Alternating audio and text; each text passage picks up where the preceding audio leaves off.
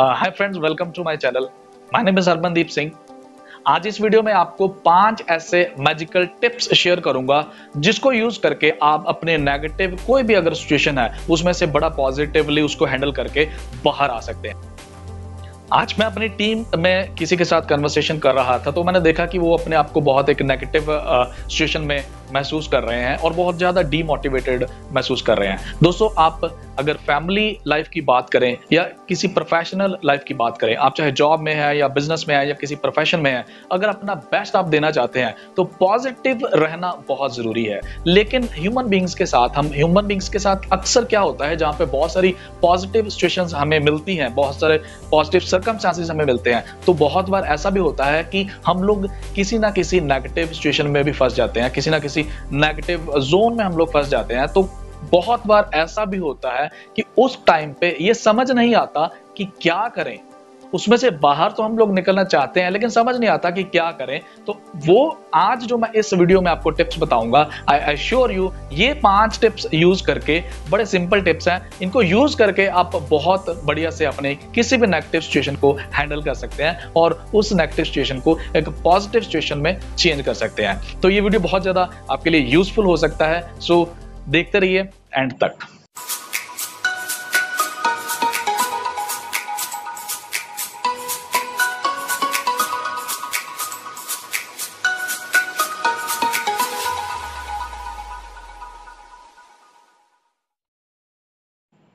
दोस्तों, जो पहला टिप है, वो ये है have a group of positive people stay away from negative people दोस्तों, अगर आप वाकई में किसी नेगेटिव सिचुएशन में हैं तो मैं आपको ये रिकमेंड करूँगा इमीडिएटली अगर आपके पास कोई ऐसे पर्सन हैं, आपके लिंक में ऐसे कोई पर्सन हैं, जिनके साथ आपकी डेली या अक्सर बात हो रही है, और वो आपको कहीं ना कहीं डीमोटिवेट कर रहे हैं नेगेटिव कर रहे हैं तो मैं आपको ये सजेस्ट करूँगा, ऐसी जो आपका कोई भी सर्कल है, ऐसा कोई, आपका फ्रेंड सर्कल है या आपका कोई रिलेटिव है या कोई भी पर्सन है ऐसा, उसको इमिजिएटली आप इग्नोर करना शुरू कर दें फॉर द टाइम बिंग और मैं आपको ये सलाह दूँगा कि आप अपने आप को सराउंड करें पॉजिटिव पीपल के साथ।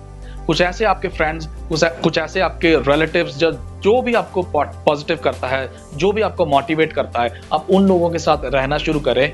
इससे क्या होगा कि अगर आपकी कोई नेगेटिव सिचुएशन चल भी रही है तो फिर भी आप देखेंगे कि उन लोगों का जो पॉजिटिव इम्पैक्ट है, वो आपके ऊपर भी पड़ेगा और आप भी अपने आप को पॉजिटिव महसूस करना शुरू कर देंगे। और जब आप अपने आप को पॉजिटिव महसूस करेंगे तो यकीन मानिए, आप अपने नेगेटिव सिचुएशन को बहुत बढ़िया तरीके से हैंडल कर सकेंगे।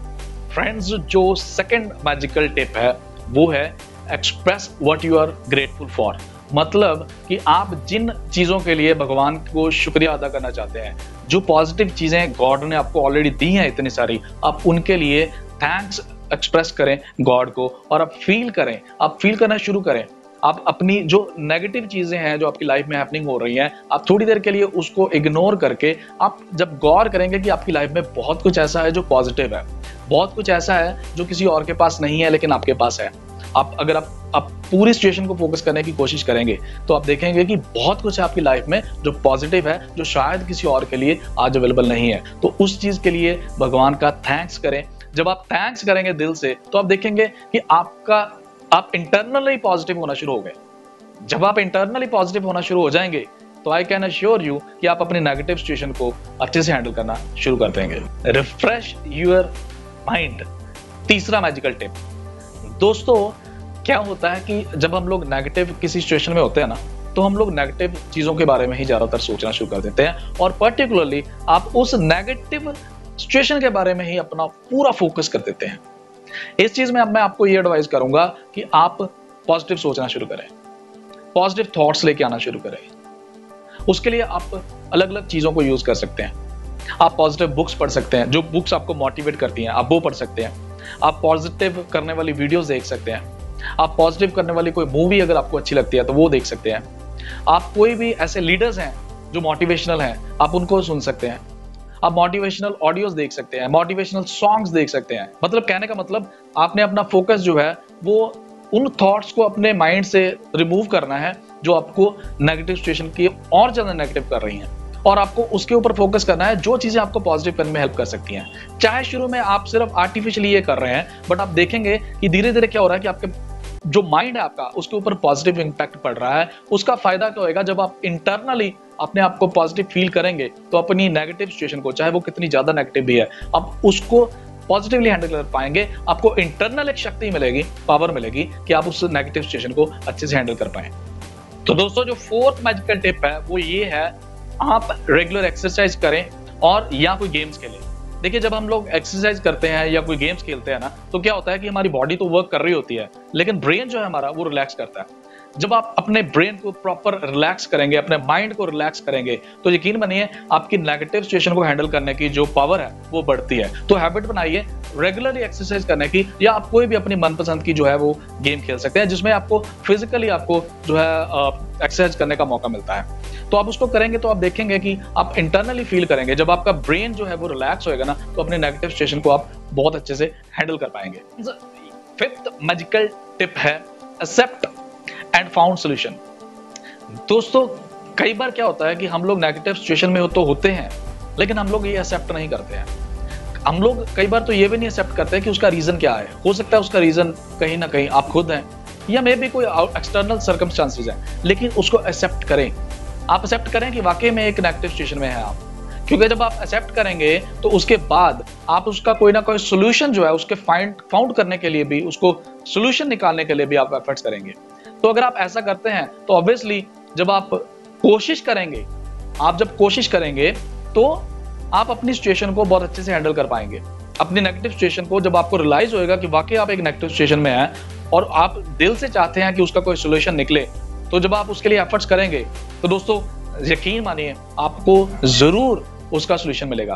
क्योंकि जब भी भगवान कोई प्रॉब्लम्स देता है, कोई चैलेंजेस देता है तो यकीन मानिए कि उसका सॉल्यूशन भी देता है। बस आपको फाइंड करना होता है। जब आप उसको, जब आप उसको फोकस करते हैं सोल्यूशन करने के लिए, जब आप कोई ना कोई सोल्यूशन निकालने की कोशिश करते हैं तो आपको ज़रूर सोल्यूशन मिलता है।